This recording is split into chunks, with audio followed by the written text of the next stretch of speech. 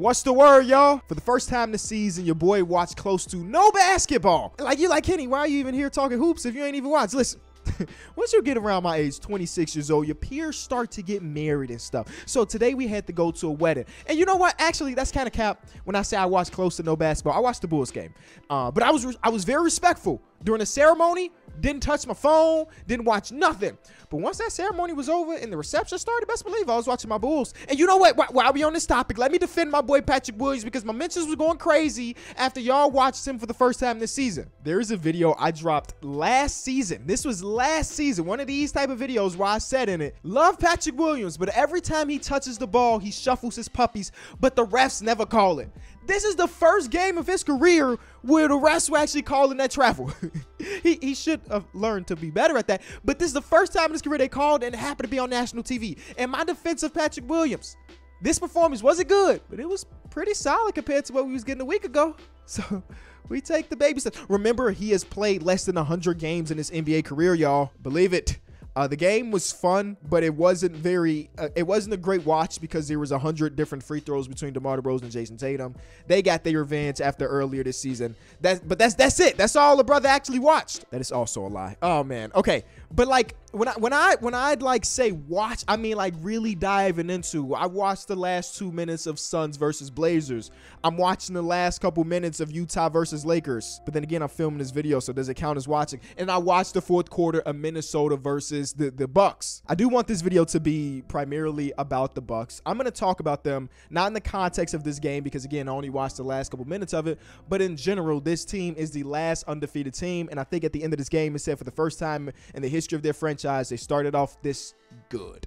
And again, I, am not I'm not taking a victory lap because we eight games to the season, but I felt very confident with the idea of the Milwaukee Bucks being the best team in basketball and winning the championship eventually. I didn't think they were going to be the one seed though. If you go check my video, because I felt like they were a team that weren't going to prioritize regular season winning, and I thought that since Khris Middleton was going to be out for a little time, they might struggle out of the gate. Completely wrong on that tip boy oh boy, they look like a different team and philosophy, which is funny because throughout the history of Coach Bud's career, whether it be in Atlanta or the first couple years in Milwaukee, his major criticism attached to his name was brother never make adjustments. He gonna run the same thing from game number one of the regular season to game number 82 of the regular season, plus however many playoff games he get. This is what he knows and is damn good come regular season. But once we get to the postseason, that same scheme and stuff don't really work. With this season, it has completely changed. And dare I say, because of it, this looks like the best version of the Bucks we've seen in the Giannis era.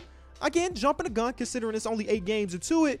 But this this is a team that held their hats on. You're not gonna score in our paint.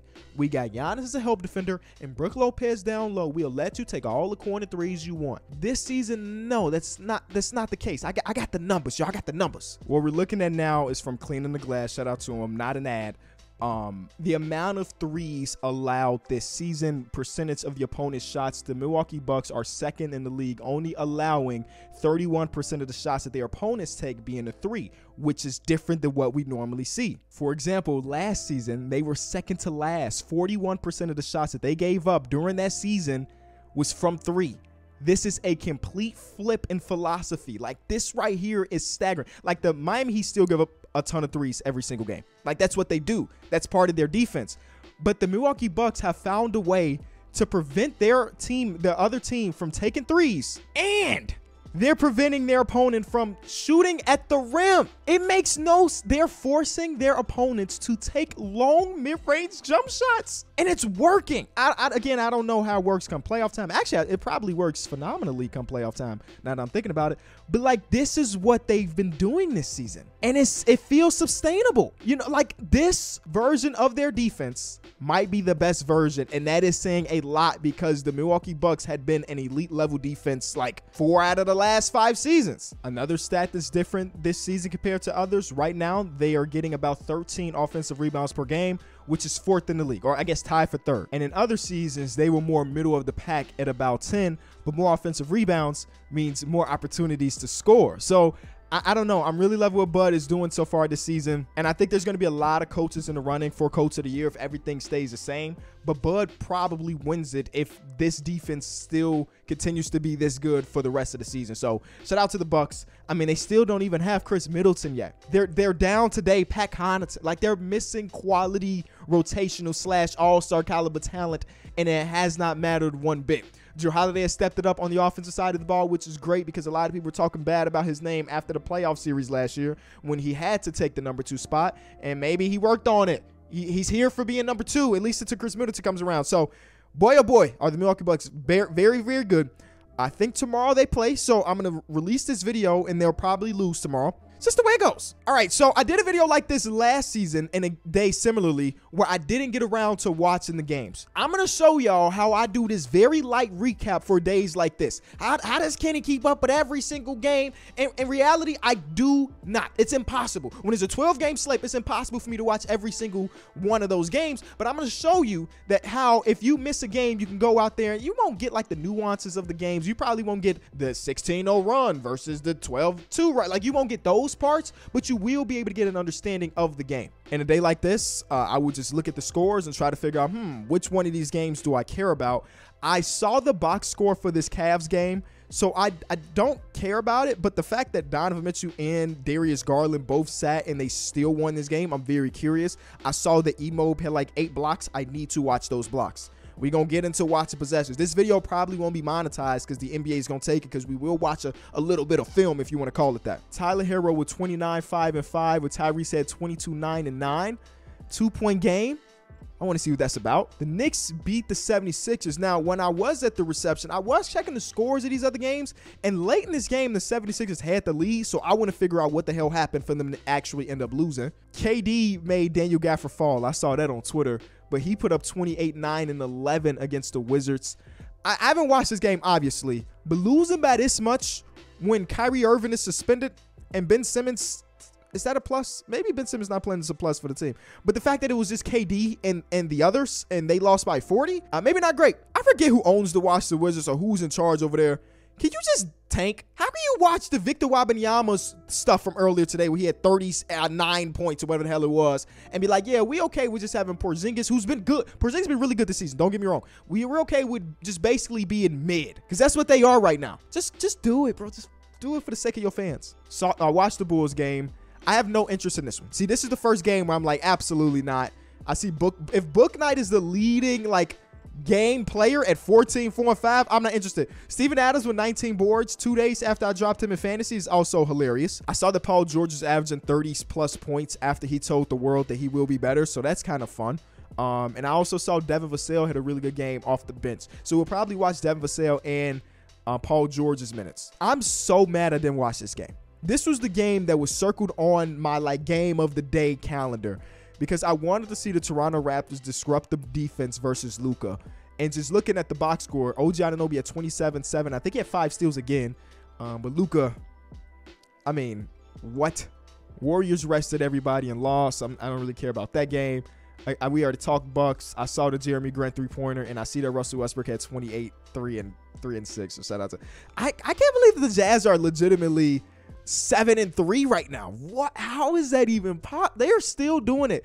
And me and the guys were talking like, which team between the Jazz and the Spurs do you think will be able to like keep it up, if you want to call it that?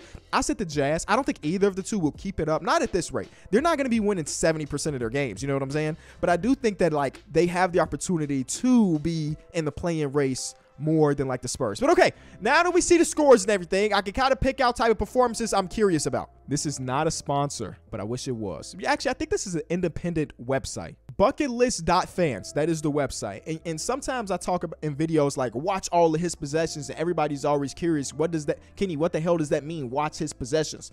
This is exactly what I mean. They give you the daily performance, but you can search in a player's name. So who is the player I said I want to see? I want to see Evan Mobley. I want to see Evan Mobley's blocks type in Evan Mobley, his box score from today, and I just click this, and I can watch every single block he had today. Again, this video is definitely getting demonetized, but whatever. Let's let's watch some Evan Mobley situations. That's just pure athleticism. Shout out to Nerlens Noel finally getting on the court. Um, I think it's maybe a second, third game on the team, and it led to a Cedi Osman layup. So here he is, guarding Saddiq Bey in space with the help over. from behind. There's a there's just like a snatch block. There's emo. He had eight of these throughout the game, man. This is insane. Oh, there's a fast break. Are you chasing it down? Is he chasing it down? Technically, yeah, technically that counts as a chase down. Bro, Evan Mobley is so fun to watch, bro. I wonder if he finished on that play too, because he was running like a gazelle right there. The fact that these men still kept going up on him when he snatched blocking and, and doing stuff like this is insane. And it led to a Kevin Love three. Come on, man. You gotta love it. You gotta love it.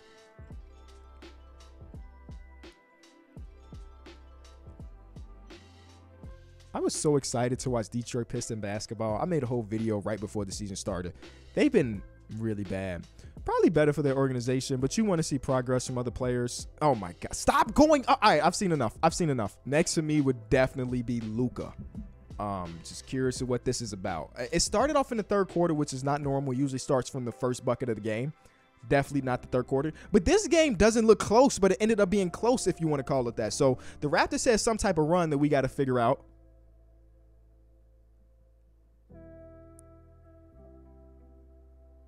My favorite thing about Luka, oh my god, oh my, oh my god, no, he didn't score on this. No, he didn't, bro. Press, no, no, no. That's good defense from Precious. Like he was stumbling for sure. It's hard not to stumble when this man is doing uh, some crazy Harlem Globetrotter stuff, but that's good defense. This the turnaround fade might have been an and one low key, and he sits on the floor and doesn't look. All right, all right. I mean, they were about 20 at this point, basically going into the fourth, and then it's down to a four point game. So the Raps went on a run. I did see that Pascal Siakam, good shot. Pascal Siakam hurt his groin in this one that he didn't return. This would be the last thing I show you what I do. So you know how I mentioned like, oh snap, what the what the heck happened for for this game to get close after that team was up by so much? I would just pro- I'll just go here to like figure out where that run started, and then I would watch every made basket slash miss from that run. That's that's what I would do. Like, how the heck did they come back to this game? I would watch these five, ten minutes or so until we got to the end of the game. So that's that would be how I keep up with these games. It's not a perfect science, but it works, you know. It works if you want to keep if you watch three games and it's six on a day, you got to catch up to the other ones. You could do that, or you could do this if you have um, League Pass. Actually, you can't do it right now because the game's just ended. But they do like these condensed versions, like 40 minutes of the game and you get to watch all the possessions basically. Anyway, that's how I keep up with basketball uh, when I don't have the opportunity to keep up with basketball. Shout out to Russ. I will watch 100% of Russ's possessions, even though again that was on a little bit. Um, he looked good, man. Love to see Russ smiling, rocking the baby and stuff. They didn't get the win because the Jazz are legitimately good basketball team. Excited for him because th- the first, or I guess the last year and the first week or so of the season was was rough, man. It's definitely rough for Russ. So happy to see him doing okay. Probably be better if they would have won that that ball game. Uh, people are starting dialogues on Twitter about Bron and whether or not Father Time is is here. I know he still was like great, but people are having a conversation. Is he top five in the league still? Is he top ten? Is he top fifteen? My low was saying he's not even top twenty. I don't know if I would go that far, but conversations are being said about uh, Bron because I mean at the end of the day, he is human, you know. And they did all these ads about him versus Father Time, and he's still winning the battle. He's about to be 38 and still elite. But Father Time just slowly behind him, you know? All right, that's it.